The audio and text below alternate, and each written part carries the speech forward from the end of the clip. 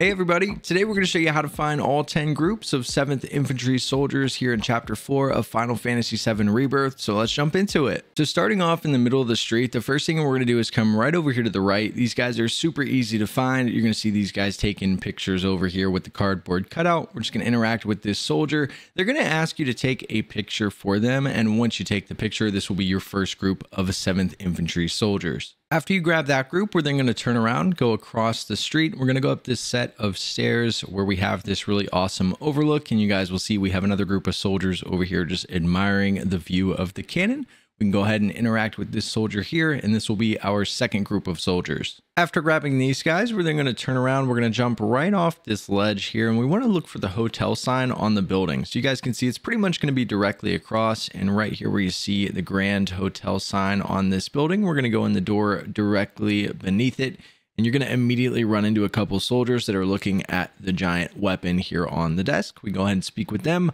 and this is going to be our third group of soldiers. Once you get the guys here at the weapon, we're going to turn around and we're going to work our way up the stairs. And once we're up top in this shop, if you guys come over here and look directly out the window, there's going to be two guys standing in front of the door across the street.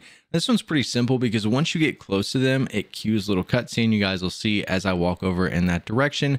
Eventually, it's going to cue a cutscene where we get to see these two guys doing something sketchy, where they're just going to talk for a second, and then they're going to end up walking down the stairs.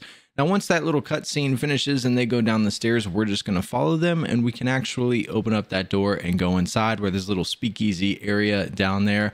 We're going to go through the little dialogue that you'll get, and this is going to be your next group of soldiers. Now for our fifth group of soldiers, we're going to turn around and head back up the stairs from the cool little speakeasy down here. And once we get to the top, we're just going to go directly across and to the right of the arsenal shop right here, you guys are going to see the materia shop. So it'll say items, materia on the top here. If you go inside and take a right, right over here is going to be another soldier that you can speak with. And once you speak with him, this will be your fifth group of soldiers. Once we're done in here, we're going to head back outside of the shop and we're going to take an immediate left and go into the shop next door. So if we take a left, you guys will see right over here with the purple light where it says Folios, we can go inside. Now you're going to have stairs that go up and that go down. You want to go upstairs. So we'll go up the first flight. You take a right, you'll have another set of stairs that you can go up.